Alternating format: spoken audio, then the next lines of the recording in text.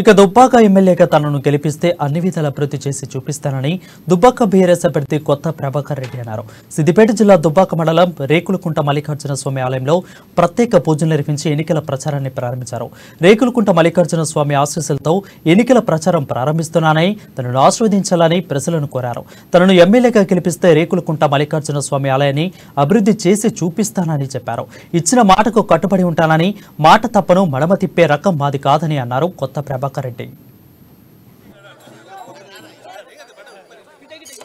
Election సందర్భంగా మొట్టమొదటి ప్రచార యాత్ర మరి రేకులకుంట మల్లన్న సన్నిధిలో మరి ఈరోజు ప్రారంభోత్సవం చేసుకుంటున్నాం.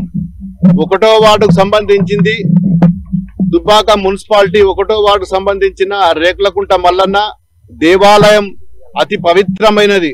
ఎప్పుడైనా ఏ శుభకార్యం చేయాలన్నా ఏది చేయాలన్నా మరి ఇక్కడి నుంచే మేము ప్రారంభోత్సవం చేస్తాం కాబట్టి మరి దీన్ని నిర్వహించిన మా ఒకటో వార్డు కౌన్సిలర్ రజిత గారు మరి అదే విధంగా మున్సిపల్ చైర్మన్ వనిత భూమిరెడ్డి గారు మిగతా కౌన్సిలర్లు మరి అన్ని ప్రాంతం అన్ని వార్డుల నుంచి అన్ని ప్రాంతంల నుంచి ఇచ్చేసిన మా ప్రజా